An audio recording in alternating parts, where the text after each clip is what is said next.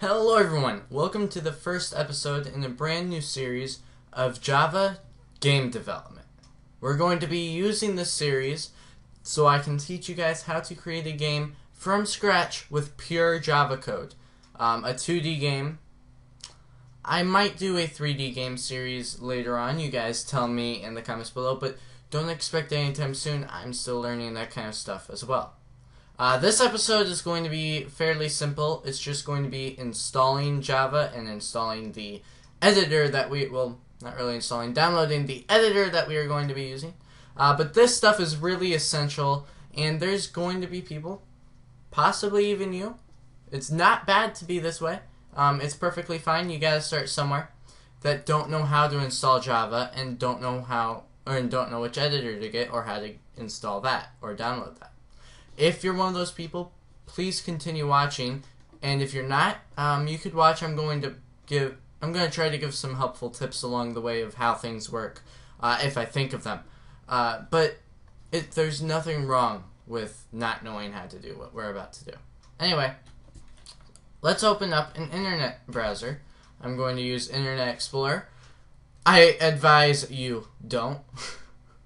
I advise you use anything but Internet Explorer, but I'm going to use it uh, simply for the fact that most people in do most people do use Internet Explorer.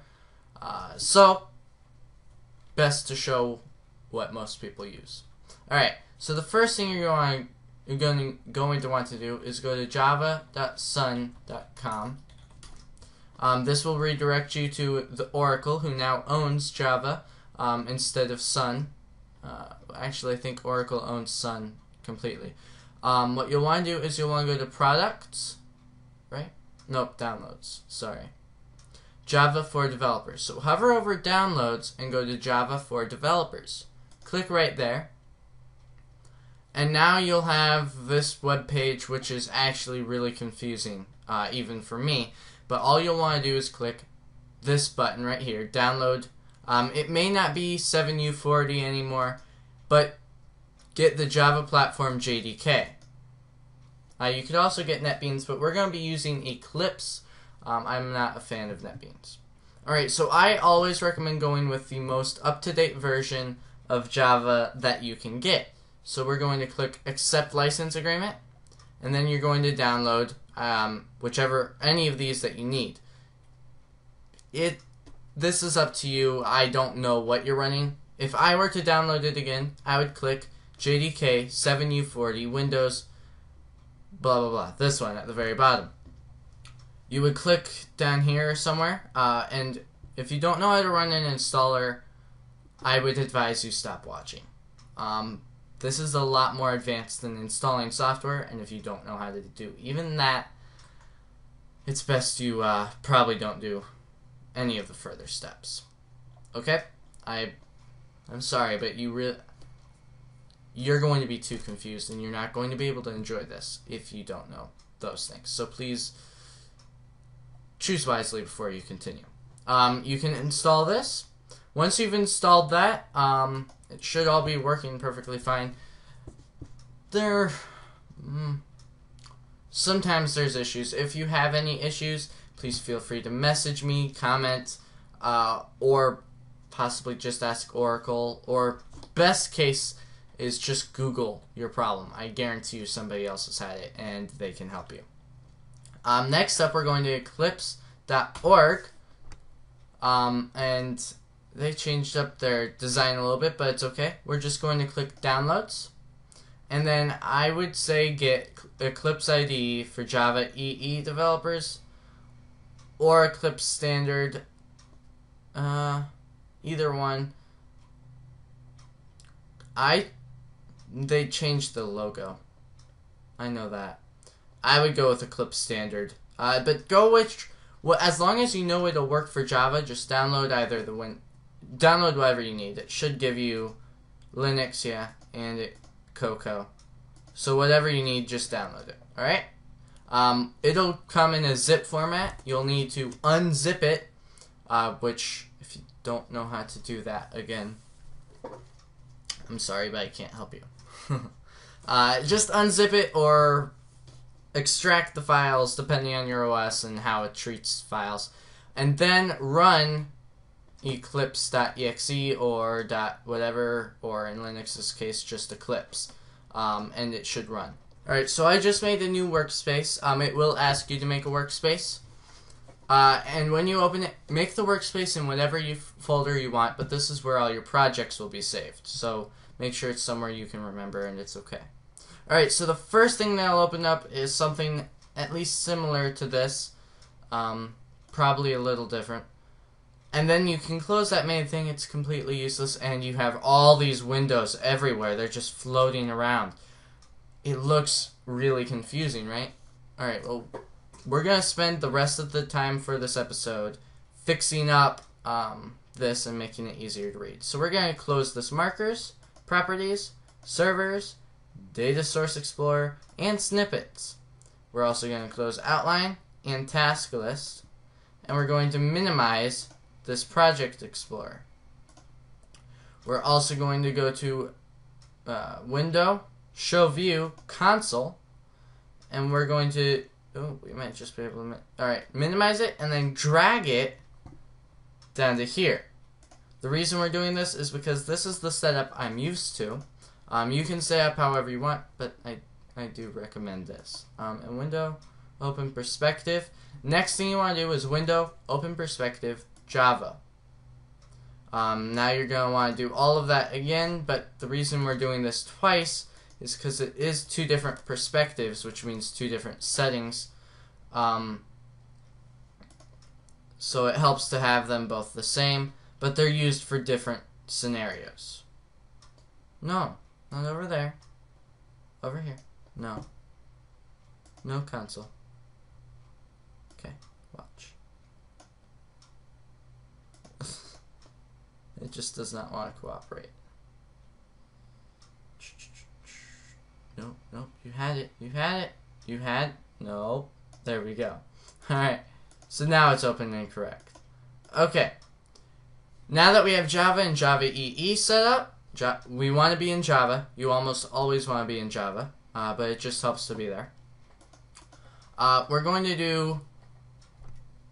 Hmm, yeah, we'll we'll start on this. We're going to make a new project. This project is what we will begin with for now. We'll make another project in the next episode when we actually begin a game. But we're what we're going to do is click this button. Uh, we're going to click Java project and next. I'm going to name it uh, Hello World. And this is nothing to do with games, guys. This is just teaching you the logic, or this is just teaching how to use the IDE right now. Use the default location. I would use your execution environment. Um, and you want to create separate folders. Don't touch these settings. You can click next, and you can do a whole bunch of stuff to make it better here. Uh, but I recommend not touching any of this until you're more advanced and you know exactly what you're doing. Alright, so in here we have the Java uh, the Java runtime environment system library. That's basically Java itself. And we're going to want inside this source folder, SRC stands for source, we're going to want to create a new class. Now what is a class? Well, a class, um, sorry, I was checking behind me. A class is a Java program file, source code file. What's source code? It's the code that people write. Okay, I'm going to give a quick lesson. This is going to be a long episode. I'm sorry. Not all the episodes will be this long. But to kick off a series, and this is sort of also celebrating getting to 500 subscribers. Thank you guys a ton. Uh, it means a lot. But I'm not going to go into that tirade right now we're going to go through a quick lesson. All right, so computers, everything they do, everything they read, even this YouTube video that you're watching right now, in a computer, the computer is reading ones and zeros, a lot of them. And it's taking those ones and zeros, and it's taking other ones and zeros that tell the computer how to interpret these ones and zeros, and it's making stuff happen. In this case, it's making my voice uh, come through your speakers or headphones or whatever you have, and it's making my image appear, and it's making my computer screen recording thing appear in this YouTube video. That's what all those ones and zeros are doing together. But there used to be a day when people themselves would write out these ones and zeros called binary format. Binary means one or zero, on, off, true, false. They would take these binary numbers and they would program and code all these ones and zeros, and they'd know what it does. I'm sorry, I don't have time to learn about different combinations of ones and zeros. So, what did these genius people do that were typing these ones and zeros to make cool stuff happen? Well, they made other languages. They made languages. First one, I believe, first main big one was assembly. And the assembly was outstanding back then. It was a way for people to type more human readable English and then it gets compiled down to ones and zeros and then the computer can read it. So it was a it's a bridge. Then came C, which is even better. It gave the programmer more power and it was even more readable and it was a better bridge. Then there was C++ and all and okay, basically since then there have been made thousands of programming languages and scripting languages and other languages that can be compiled down to a more basic form or in the case of scripting languages sometimes they're just parsed. But in Java's case it's compiled compiled down to a more simple form which is then read by an execution environment and that execution environment takes the like sort of halfway readable by humans thing, which was originally a class. Oh, I'm losing. Anyway, it takes that file, the compiled file, and it reads through it and it changes it to, and it understands it and sends ones through zeros to the computer, and the computer then executes it. But we write class files, which is what gets compiled down a level. Um, we write class files, which are very easy for humans to read, typically, and they're much more simple for us to use. It's a better bridge in between the world of ones and zeros and human intellect and language. So that's what a class file is. So we're going to name this class program um, because we're great at this. And we're going to click this checkbox down here. Public static void main string args. I'm going to explain this better in the next episode um, because I don't want this episode being like a half hour long. Uh, but just understand right now that what this method, I'll, ex- I'll explain methods briefly right now. A method is basically a group of code inside a larger piece of code that runs something. We're going to go over this Hello World program that we're making right now next episode. And then in the episode after that, maybe we'll finally get to the real thing. Uh, but I'm just going to show you guys that. I just want to show you guys how to do this so you can test it and make sure everything's set up right on your system. Uh, we're going to get rid of this comment. Actually, no, I'll leave the comment there to show you guys even that much more. And all we're going to do is write system.out.println hello world. This is my very first Java program. Okay, we're just going to write that. Uh, you can fill in, he actually no, just type exactly what I typed uh, for right now. Everything in detail. And before we run this, I'm going to have us go through some preferences. So click Window at the top and go to Preferences. Um, general, Appearance, Colors and Fonts. I believe somewhere in here is where I can change Java edit.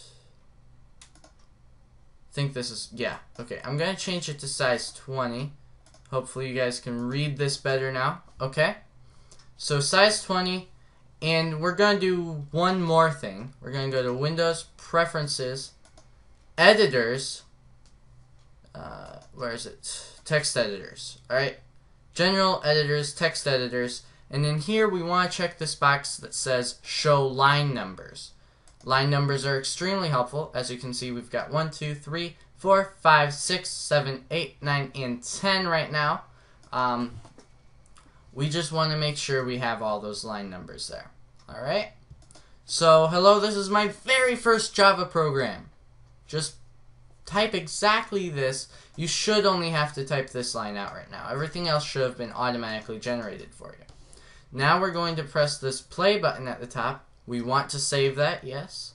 And over here, um, I wonder if there's a way I can change the settings for the size down there. Window preferences. Let's see. Workspace. Appearance, colors and fonts. Java doc. There we go. Edit this font. We're gonna edit it just to be 16, a little smaller. No, not right. Okay, I'll figure out this later. Uh, but right now it reads, "Hello world." This is my very first Java program. Awesome, right? You guys got your first program running. If you guys got that down here, if it says this down here, then you guys got everything installed and downloaded correctly. Great job. If not, maybe rewatch the video once or twice, see what you might have done wrong.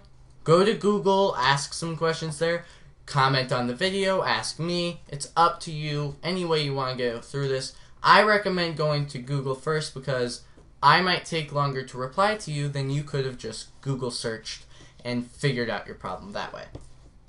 Alright? So for now, thank you guys for watching. Don't forget to hit the subscribe button. Please hit the like or dislike button corresponding to how you felt about this video. Also, hit the like or dislike button corresponding to are you excited for this series? Did I do, do a good job of starting it out? And where would you like it to go further? Please comment below. What what can we do for our first game? Keep it simple. Don't go like, oh, I want to make the next Call of Duty. No. And don't don't say something like I want to make Terraria either. Okay, yeah, Terraria is 2D, but no. uh, we're gonna start small. Think like Pong, uh, Pac-Man. Actually, Pac-Man's even probably too big. Pac-Man. Okay, go smaller than Pong for our first game, because I'm going to just teach simple basics first. I think. I'll decide later. Oh well. Just comment below.